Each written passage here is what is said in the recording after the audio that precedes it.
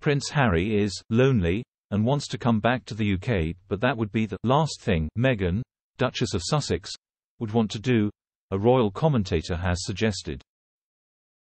Tom Bower, author of the Sunday Times bestseller Revenge, released last year, said that the Sussexes are experiencing a crisis of identity, with the 38-year-old prince now weighing up his options.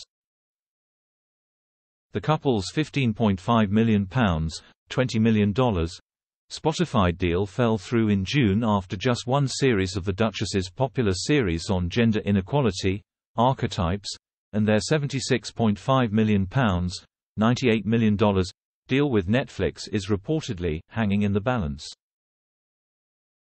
The Duke is now reportedly in touch with his older brother to call a truce with a return to the UK now potentially on the cards.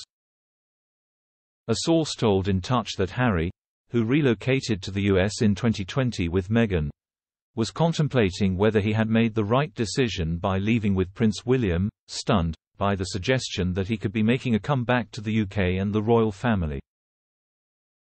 However, Mr. Bower told OK magazine that he doubts William can forgive his older brother and will ultimately reject him. It has long been reported that a rift has grown between the two brothers.